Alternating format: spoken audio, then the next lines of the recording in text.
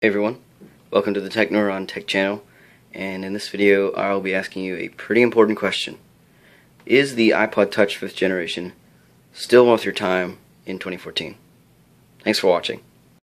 Get into whether it's actually worth your time in 2014. Um, I'm probably going to give you a few uh, specs so you can put this uh, device into perspective. So, first, uh, the dimensions of the iPod Touch 5th generation itself is 4.86 by 2.31 by 0.24 inches. So it's a pretty thin device, as you can see.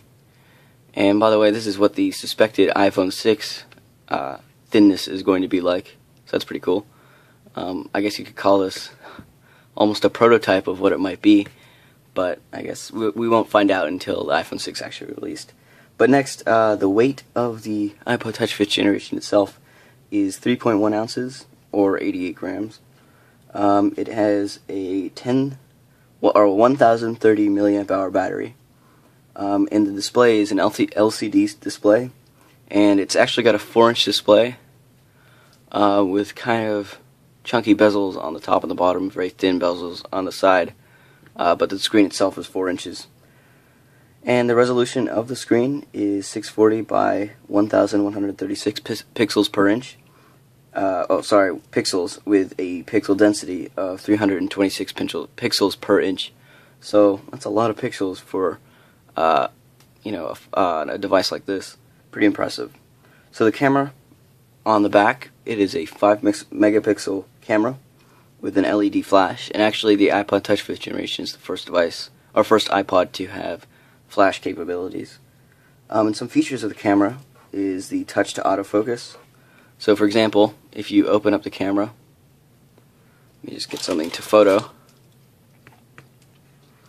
um, you can touch to focus on the exact uh, object itself, kind of like on Android phones. Um, it features autofocus, um, face detection, uh, things like that. And the camcorder itself records 1080p HD video at 30 frames per second and it also has a few more features which aren't as prominent as the uh, ones I just mentioned.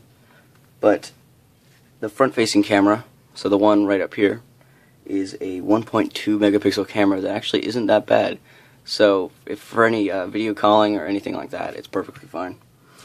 So the internals of the actual device, um, it has an A5 system chip. So it's a pretty fast chip and it can handle quite a bit of multitasking. Um, the processor is a dual-core 1000 megahertz ARM Cortex A9 processor with 512 megabytes of memory. Um, and this is the 30, 32 gigabyte version, but there is a 64 gigabyte uh, flash memory and a 16 gigabyte flash memory as well.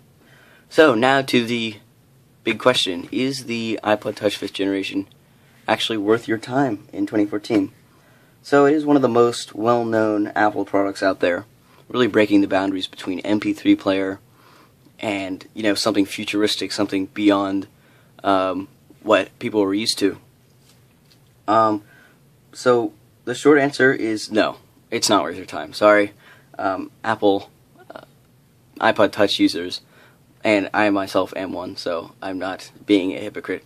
Well, maybe a little bit, but the long answer is that, you know, if you think about it, MP3 players destroyed the CD player and the CD.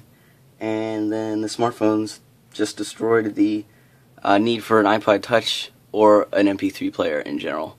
I th- I would call it um, electronics natural selection. This is just the way. It, this is just how it works. Uh, something will come along much better than the iPhone, the Android, things like that, and so that's just how it is.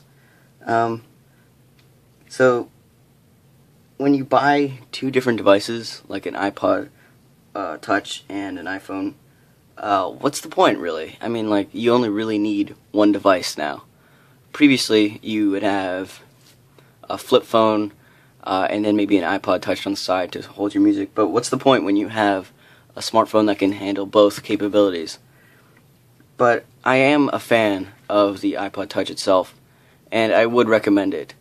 But, you know, in the time of smartphones, there really is no point for it. So thank you for watching my video on whether the iPod Touch 5th generation or any iPod that matter is worth your time in 2014. Thanks for watching. Please like and subscribe. Uh, I'll see you in my next video. Bye.